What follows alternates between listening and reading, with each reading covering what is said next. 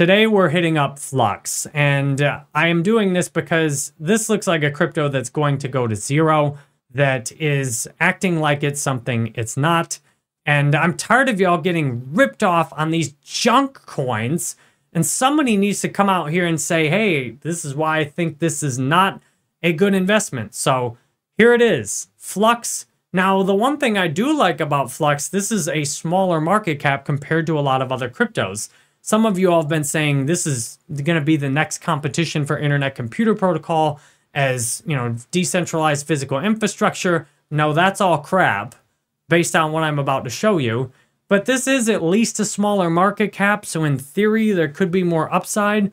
But this is an older crypto also, and I'm going to show you how old it is that you can tell, like, this is an old blockchain. It's not as old as Bitcoin or Ethereum, but this is, the technology on this is not impressive at all.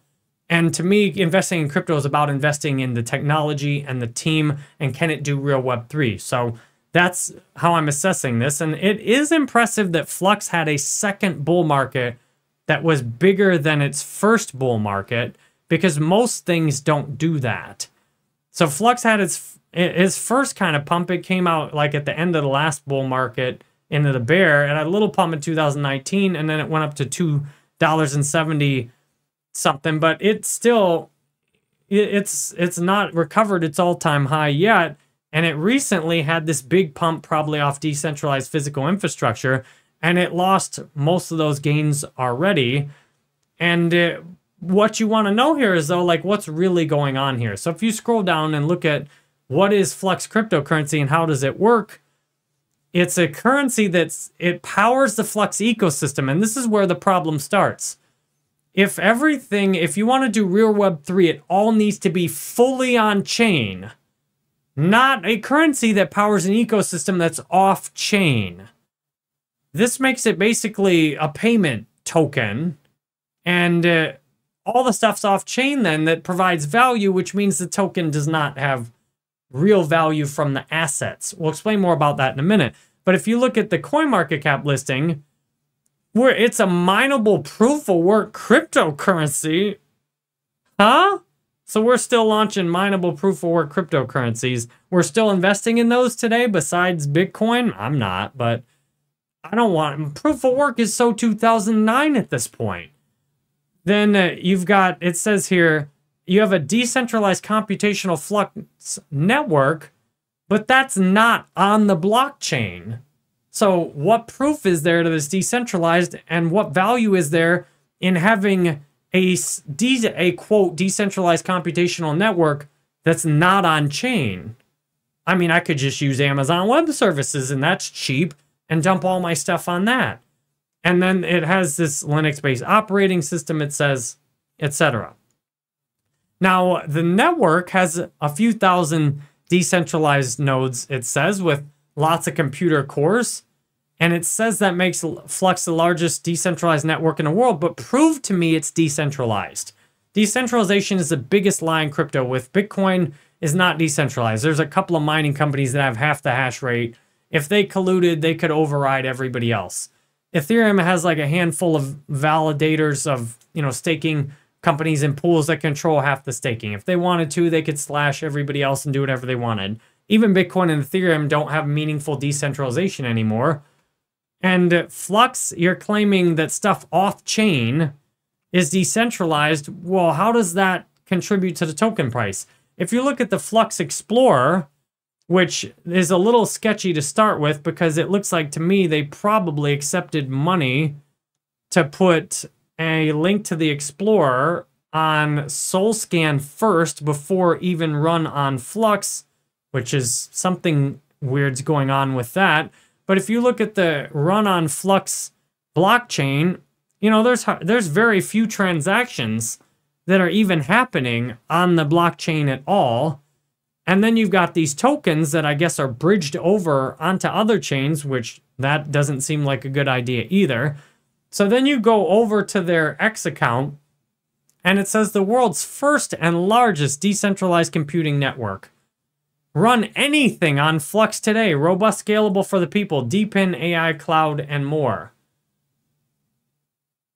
How, what proof is there it's decentralized because there's if you go to the flux.io, it's not actually on chain, which means where is it hosted? Who controls how the network and the protocol operates? Well, the Flux decentralized, let's just throw the word decentralized in everything. Flux decentralized team. It says the team is a decentralized, uh, could we not, we're not allowed, you have to, it's like get fined. You should get fined every time you use the word decentralized. The team is an organizational structure of volunteers and leaders. These, these people are volunteering. All right. Now, just off the top of your head, do you think it's going to work out as a good investment based on people volunteering? Or do you want people working full time getting paid by the protocol to build and engineer on the protocol? I personally would like people that the protocol's business model actually supports them in getting a real paycheck and having an incentive to build on the protocol. So this this team right now, I am proud of them for actually listing all these people on here. They've they actually have a lot of people listed on their team, which this is even more well done in terms of the the team page than internet than Dfinity. However, let's let's look at the people. You got some with IT experience, blockchain technologies, which is good. So you, you have some some technology people out here. But how quickly do we start to get into graphic designers, content developers, you know, media teams? A couple of developers here, which is good. But a lot of the people, a lot of the people are, there's a good amount of developers, but there's also a lot of people who don't have, you know, it doesn't look like they're actually building and making the protocol better. And the protocol is not, doesn't look like the protocol is controlled at all from the blockchain. So why would I buy the token if this whole protocol runs on stuff that the token doesn't control? I mean, are you understanding this? Like, this is a proof of work mining token that anyone can mine. It can't have any real physical control over anything that goes on in the ecosystem. My question is who does have that control? Who on the decentralized team is the real power person in here? That's not obvious. And that to me is a problem. We have some problems, you know? And now look at this. They're talking about DePIN, AI, cloud, and more.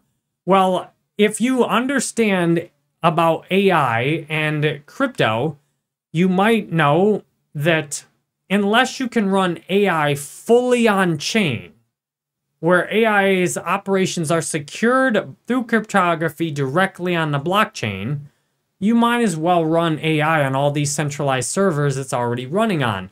Because if you can't prove how the AI was trained, if you can't have some like cryptographic security to prevent AI from being tampered with, and if you can't show all that transparently on the blockchain and host it directly on websites, then uh, you might as well run your AI on Amazon Web Services or some centralized provider because it, it's vulnerable.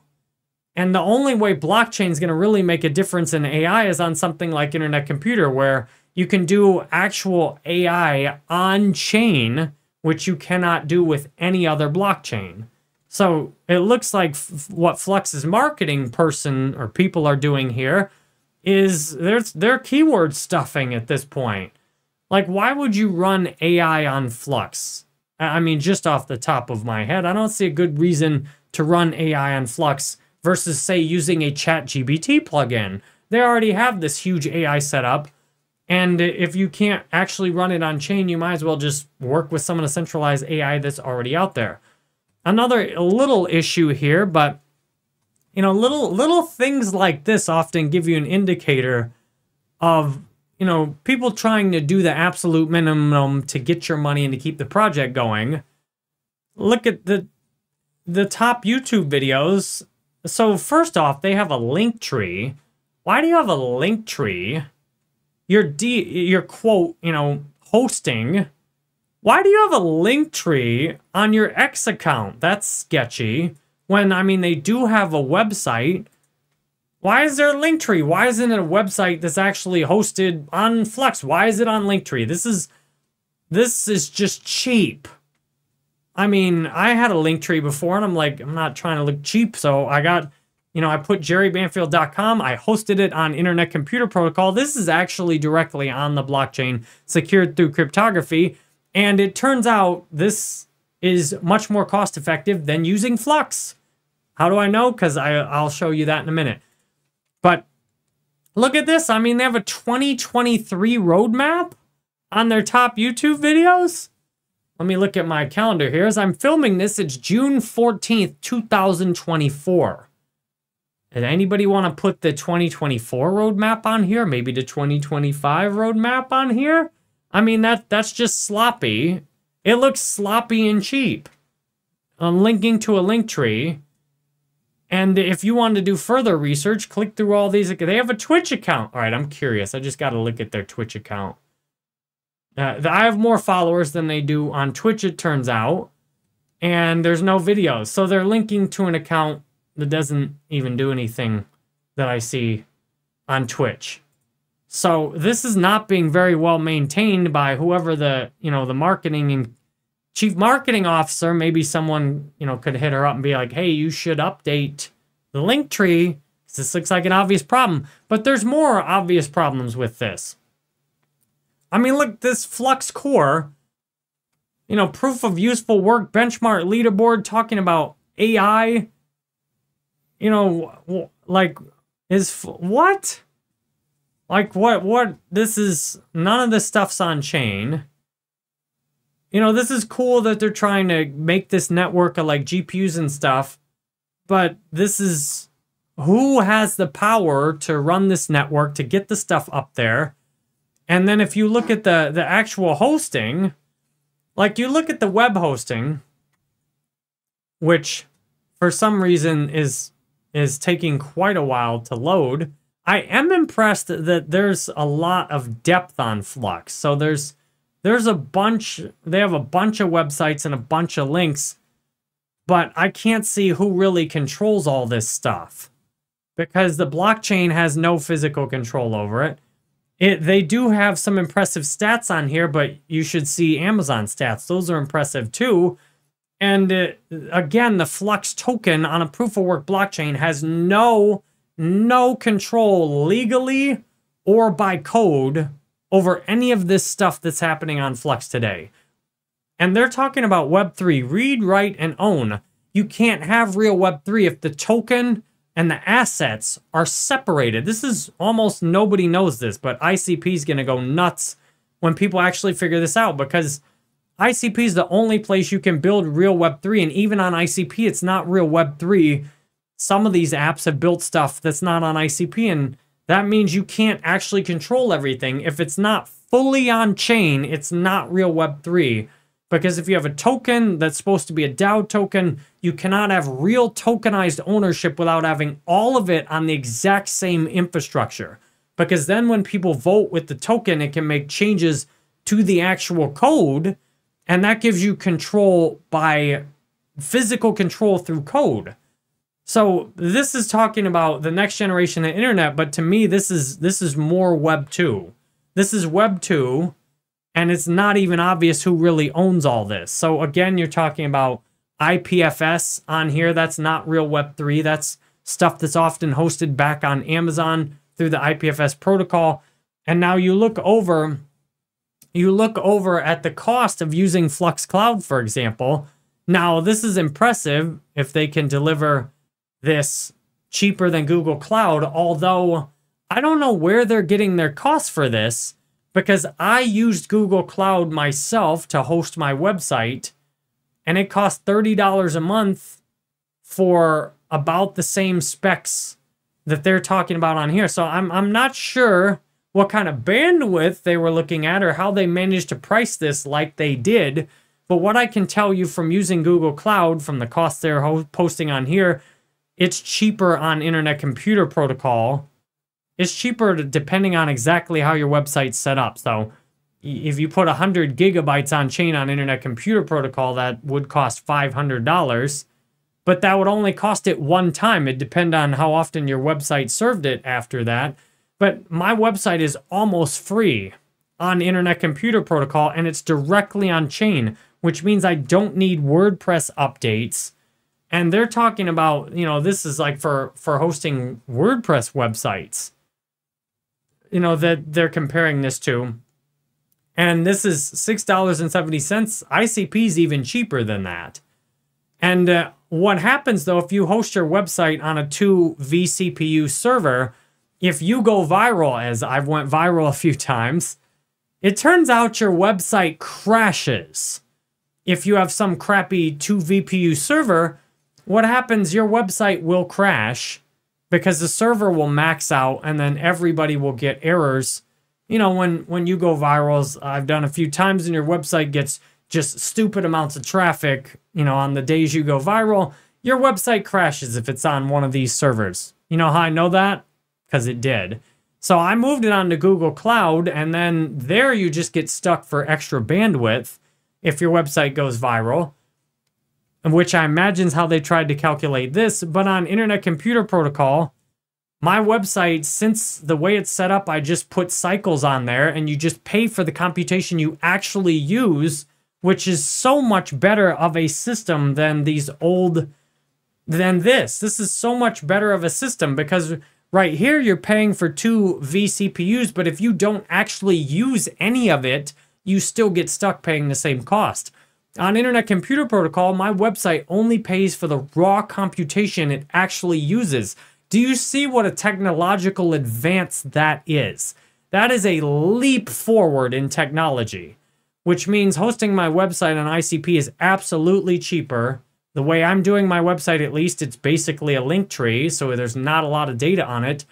I've gotten tens of thousands of visits to my website, and I could get hundreds of thousands of visits to my website in a day, and uh, it would hardly cost anything out of my cycles because it wouldn't take a lot of computation.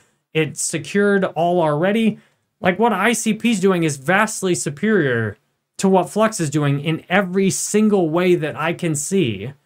I mean, the only advantage Flux has is that it's a smaller market cap right now, whereas ICP is more than 10 times bigger. But the technology, the research on ICPs looks to be hundreds of times more advanced than Flux.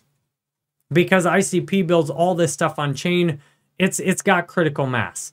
So the way I see it, Flux, this is no real competition it, it doesn't deserve to be mentioned in the same context as ICP at all.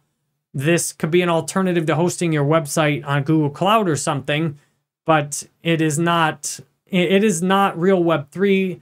There's almost nothing that's actually on chain. The blockchain itself is old proof of work mining, and there's not very many transactions on it. ICP does more transactions per second, according to this, than the Explorer does. If you go the Explorer on Flux, ICP does more transactions a second than, uh, and the, these have tiny little little block sizes too with hardly any computation. It looks like ICP does more transactions a second than this does in hours. So there, there's not much happening on here that I see. And uh, th this to me looks like it's overvalued. Now, I'm glad they've built something that perhaps could be useful to give people an alternative to using you know the centralized but this this this is centralized also. I don't care how many times you say the word decentralized i can see from the way this is set up and that there's no transparency about who controls the actual protocol that puts all this stuff together and that it's not on chain. Don't tell me it's decentralized. It's absolutely centralized. So if uh, i reviewed this today because i'm live on youtube and twitch while i filmed this you all asked me to talk about Flux today, so this is my opinion on Flux. This is why I don't hold any Flux. And I'm I have a spreadsheet. Everything I review, I'm putting it on the spreadsheet, and over time, we'll see how everything I review does against ICP. Yep, so far, actually, everything I've reviewed is up 5% against ICP. Do I like it? No, but this is a long-term game. We're in a marathon. We're not in a sprint where where you're just trying to run. A lot of these cryptos are in a sprint, though. They're trying to just do as much as they can, get as much money off of you as possible in the fastest period of time, and then that's it. They're out and the project's going towards zero. So if you want more Jerry Banfield, if you appreciated my critical review here of Flux, then uh, the best way is to thank you. We just got a new follow on Twitch, a couple of them during stream. Follow on Twitch. That's where I do all my live streams. That's the best way to chat with me is to chat on Twitch, especially if I'm doing a gaming or music stream. The chat will often be much slower and I'll see everything you have to say. You can also subscribe. I have eight YouTube channels with all these different playlists from, if you want to really get to know me, watch my autobiography, listen to some of my music, hear some of my thoughts, look at some of my book reviews, watch some of my gaming videos. And if you want to chat with me while I'm not live, the only way to do it is on Open Chat, which is hosted 100% on ICP.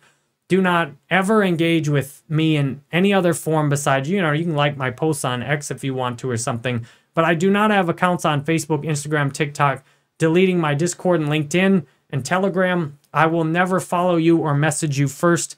So please don't get ripped off by all these scams in crypto. I, I love you each. I appreciate your support, and I hope this review's been helpful.